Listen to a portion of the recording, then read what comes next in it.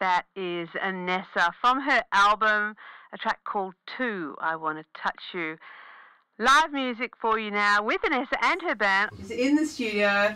Innessa is Russian by birth and she's joined this morning by her band. We have Dave on bass, Misha on guitar, and Jim on drums. Thank you everyone for coming in. Thank you. Now you come forward us. a little bit, Innessa, so that we can Yes. just have a little bit of a, a chat before you play something for And, us and our next gig with the band is going to be in Brisbane, 22nd of September at Lock and Load Bistro, which is West End.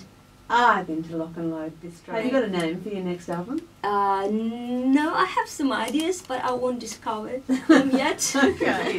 Innessa and her band with Love You More on ABC Coast FM.